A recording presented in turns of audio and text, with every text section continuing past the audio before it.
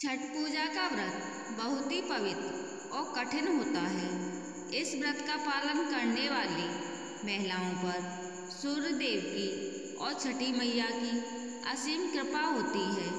छठ पूजा व्रत बिना कथा के संपूर्ण नहीं माना जाता है। इसीलिए छठ पूजा करने वाली महिलाओं को कथा ज़रूर सुननी चाहिए। कथा सुनने से पहले कमेंट में छठी मैया का जयकारा ज़रूर लगाएँ।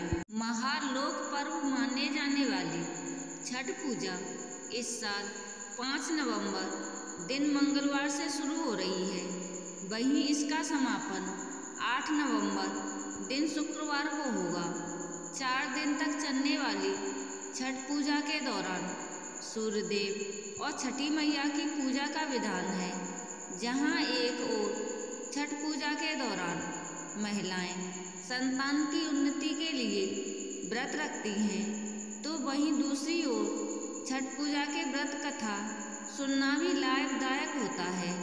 ऐसे में छठ मैया की पूजा ज़रूर सुननी चाहिए, जिससे संतान सुख की प्राप्ति होती है।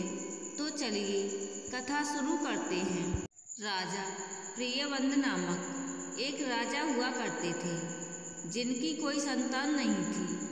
तब महर्षि कश्यप ने पुत्र प्राप्ति के लिए राजा के यहाँ यज्ञ का आयोजन किया।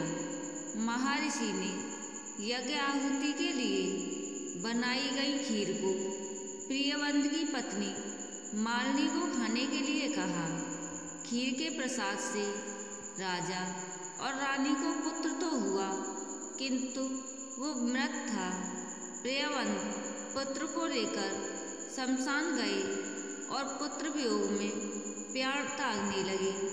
उसी समय भगवान की मानस पुत्री देवसेना प्रकट हुई। उन्होंने राजा से कहा, सृष्टि की मूल प्रवृत्ति के छठे अंश से उत्पन्न होने के कारण मैं षष्ठी कहलाती हूँ। माता ने राजा को अपने पूजन का आदेश दिया।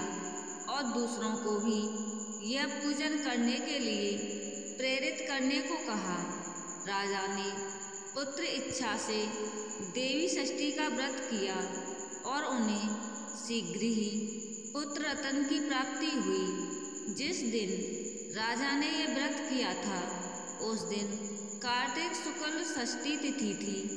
तभी से छठी मैया के पूजे जाने की परंपरा आरंभ हो गई थी।